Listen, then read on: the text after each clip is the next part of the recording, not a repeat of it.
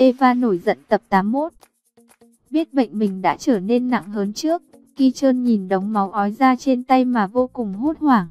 Cân Sun gọi điện nhưng anh ta không nghe máy, rồi ngồi khóc một mình. Cân Sun sau khi gọi điện cho Ki Trơn để thông báo không được thì mọi người ra quyết định đến túm cổ Bun Sun để lấy lại số tiền. Nhưng Dong bảo là mẹ đã dọn đồ đi rồi. Mọi người nghĩ cô ta ra ngân hàng để rút tiền nên chạy theo ra đó. Quả thật như vậy Bun Sun đang dùng sổ của Ki Chơn để cố gắng rút tiền. Vì cô nói Ki Chơn là chồng cô ta đang nằm viện. Nhưng cô nhân viên ngân hàng thì không chấp nhận giao dịch khi không có mặt Ki Chơn. Vừa nhìn thấy Cân Sun và Trân Mi chạy đến thì Bun Sun bỏ chạy thục mạng. Nhờ có nhiều người xung quanh giúp đỡ nên Cân Sun túm được Bun Sun và đánh cho một trận. Không lâu sau đó, cảnh sát đến và bắt Bun Sun đi. Bé Rong sau khi được ông Na đưa về cho ăn thì Cân Sun đến dắt qua nhà ở chung với Hana. Trước đó thì ghé qua tiệm Ki Trơn để bé Rong dọn dẹp đồ đạc. Bà bảo vệ và bà giúp việc cho Cân Sun giờ mới tóa hỏa, vì Bun Sun đã lừa tiền của các bà và giờ đã bị bắt. Bà Bông sau khi đắn đo suy nghĩ lời nói của ông Ly thì bà quyết định đến gặp ông Ki để trả lại chiếc nhẫn. Nhưng ông Ki không đồng ý nhận lại vì ông biết tâm trạng của bà Bông lúc này. Ông muốn giúp bà Bông vượt qua tất cả để đến với mình. Nhưng khi về đến nhà thì bà tháo ra và cất đi. Nếu ông Ly thấy được thì không biết chuyện gì sẽ xảy ra. Đúng lúc đó ông Ly bước vào. Trong lúc tức giận vì bà Bông mắng chửi, ông nói bà Bông không phải là mẹ ruột của Sơn Hô. Làm Sơn Hô đứng bên ngoài nờ dơ thấy thì bất ngờ và đau xót vô cùng. Bà Bông không biết phải giải thích như thế nào với con trai cả. Bé Rong tỏ ra rất thân thiện với mọi người xung quanh khi cậu đến ở chung nhà với Cân Sun. Cậu ta thân thiện với tất cả mọi người, kể cả Chin Trơn cậu bé này cũng gọi là mẹ, làm Chin Trơn bất ngờ. Dần dần Ngông Chu cũng xem cậu ta như là con trai của bố và thương bé Rong hơn. Các bạn đón xem tập sau sẽ rõ. vui lòng nhấn thích video và đăng ký kênh các bạn nhé. Trong tập trước, sau khi nghe những gì Bun Sun tự nói với chính mình, Trân Mi đem hết sự việc về kể cho Cân Sun nghe. Nhưng Cân Sun bề ngoài thì có vẻ thờ ơ. Vì cô nghĩ cô chẳng liên quan gì đến Ki Trơn nữa. Mặc sắc anh ta làm gì thì làm. Bun Sun về đến tòa nhà thì giả vờ chị gái bị bệnh. Nằm bệnh viện khóc lóc thảm thiết để lấy lòng thương hại của mọi người xung quanh rồi mượn tiền.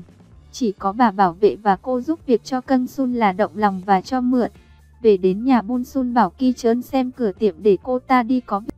Ki Trơn bị ốm nằm trên giường nhưng cũng phải nhận lời. Sau đó Ki Trơn bảo Bun Sun đưa cuốn sổ thu chi cho anh ta kiểm tra. Bun Sun nghe nói GTF giả vờ lờ đi và bảo Ki Trơn là cô ta sẽ đưa cho anh xem khi cô ta về. Bun Sun đi, Ki Trơn ra quầy và hỏi bé Rong xem có biết cuốn sổ đâu không thì Rong liền mách cho Ki Trơn chỗ để xem ra tình hình buôn bán vẫn bình thường. Nhưng anh ta đâu biết rằng số tiền thu được đã bị Bun Sun mang đi trả nợ hết rồi. In Hun được mời đến dạy tại ngôi trường khác ở ngoại ô nên anh ta đến gặp bé Hana để nói lời từ biệt. Nhưng anh ta lại rất thương con, khuyên Hana hãy sống tốt với Hân Minh vì dù sao Hân Minh cũng là bố ruột của cô ta. In Hun ôm con và dâng trào nước mắt, anh ta không nghĩ mình lại gây nên lỗi lầm to lớn thế này, để bây giờ, dù có van xin nhưng cũng không thể quay lại được. Ông Ki đến thăm bà Bông và hối thúc bà nên làm đám cưới vì cả hai người đều được sự đồng ý của, của Sơn Hô. Ông không muốn lãng phí thời gian như thế này nữa, ông muốn sống với bà Bông ngay lập tức. Nhưng bà Bông thì đang chần chừ do dự, bà không muốn rời xa con khi đi cưới chồng và người chồng cũ đang làm bà phiền lòng. Ông lý do muốn ăn thức ăn Trung Quốc, vì ăn con nhà mãi ông cũng chán, nên ông đến của hàng Sơn Hô ngỏ ý mượn tiền khi không có Sơn Hô ở đó xác thấy thương tình cho ông mượn, nhưng lúc đó Sơn Hô đi vào và giật ngược lại tờ tiền ông đang cầm trong tay. Ông Ly qua tiệm bà Bông, đúng lúc ông ki mua thức ăn Trung Quốc về chiêu đãi thì ông Ly nhào vô ăn lấy ăn để, làm ông Ki tức giận, giật lấy đũa và chửi mắng ông Ly một trận. Hana về kể hết sự việc của In Hun cho Chin chơn biết, cô cảm động khi biết In Hun bảo với Hana là hãy sống tốt với mẹ và Hưng Minh nên gọi điện hỏi thăm.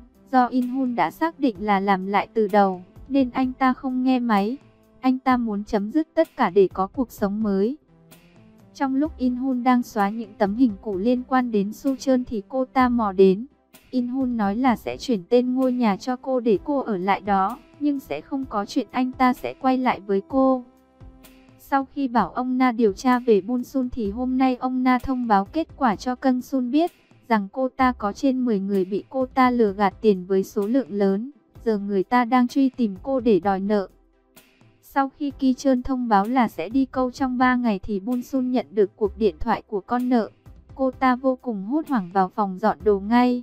Trong lúc dọn đồ, cô ta vô tình nhìn thấy cuốn sổ tài khoản ngân hàng của Ki Chơn thì lấy đi luôn.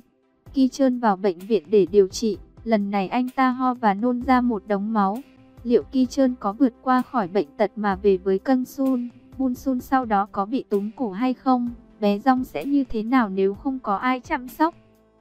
Các bạn đón xem tập sau sẽ rõ. Vui lòng nhấn thích video và đăng ký kênh các bạn nhé. Trong tập trước, mọi người đều tức giận vì Su-chơn mang Hana đến cho In Hun mà không nói lời nào. Cân Sun đuổi Su-chơn ra khỏi nhà, nhưng Su-chơn bảo rằng để cô ta tự đi chứ không cần đuổi.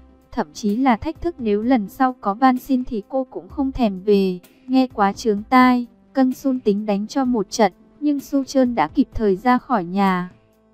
Sơn hô tức giận hỏi ông Ly khi nào thì ông quay về Mí. Ông Ly nghe hỏi vậy thì giả vờ đau nói bông sun lấy thuốc và nước cho ông uống. Nhưng vừa uống thuốc xong là ông ta hết đau liền.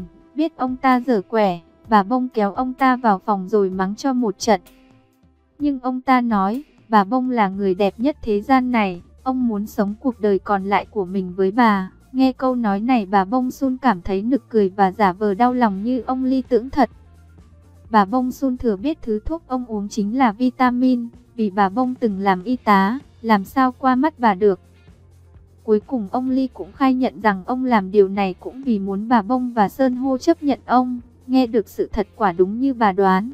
Bà Bông Sun cảm thấy rất đau lòng và khó xử, nếu ông ta chết đi thì bà còn có hy vọng đến với ông Ki. Đằng này, ông ta không những sống dai sống dáng, mà ngày ngày cứ léo đéo theo sau làm phiền bà với ông Ki làm hai người tuy có tình yêu, nhưng khó có thể đến với nhau được. Hưng Minh đến gặp Chin Trơn cũng vì lo cho Chin Trơn và Hana vì chuyện vừa qua. Hưng Minh cảm thấy biết ơn In Hun vì anh ta đã yêu thương Hana hết mình, nhưng cũng không bằng anh ta muốn mình là cha của Hana ngay từ đầu. Ông Ly nằm bên ngoài cảm thấy lạnh quá nên lẽn vào phòng bà Bông để ngủ chung, nhưng vừa nằm xuống thì bà Bông la lên thật lớn rồi tống cổ ông ra ngoài. Sơn Hô và Trăng Mi Nờ Dơ thấy thế cũng tỉnh giấc, chạy qua. Sơn Hô cũng biết điều ông ta nói là thật, sợ ông vào thêm lần nữa nên Sơn Hô kéo mẹ vào phòng mình ngủ. Sơn Hô muốn đuổi ông Ly đi, nhưng theo nguyên tắc đạo nghĩa, bà Bông không cho phép Sơn Hô có suy nghĩ đó, vì ông ta mãi vẫn là bố của Sơn Hô, dù ông ta có làm điều gì sai trái. Suốt đêm cân sun mãi suy nghĩ về Ki Trơn, Cô ta không hiểu vì sao Ki Trơn dạo này khuôn mặt thấy khác thường mà hay nhắc đến bệnh viện.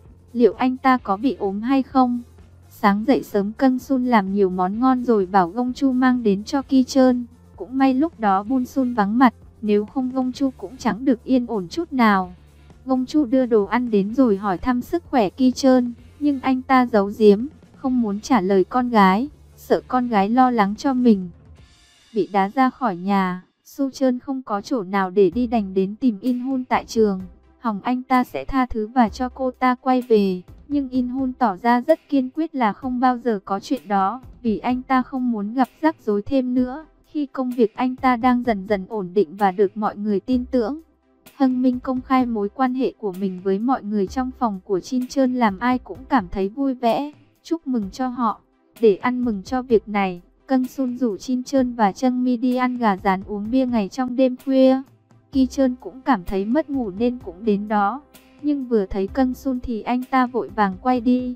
Vì không muốn Cân Sun biết chuyện của mình. Thấy có gì đó bất ổn Cân Sun đi ra để xem. Nhưng khi gặp Ki Trơn, vì lòng tự trọng nổi dậy khi nghe Ki Trơn hỏi có chuyện gì vậy, thì Cân Sun bảo rằng tôi chỉ đi vệ sinh thôi mà. Kim Sun O là cái tên mà Trân Mi vô tình nghe được khi Bun Sun nói một mình với mình khi đi từ ngân hàng ra. Cô ta muốn bán cửa tiệm của Ki Trơn và chạy trốn, vì sau khi trả hết tiền cho nhiều người, cô ta chẳng còn đồng nào cả. Nghe được câu này, Trân Mi giật bắn cả người. Rồi điều gì sẽ xảy ra với con nợ rể trùm này? Các bạn đón xem tập sau sẽ rõ. Vui lòng nhấn thích video và đăng ký kênh các bạn nhé. Trong tập trước,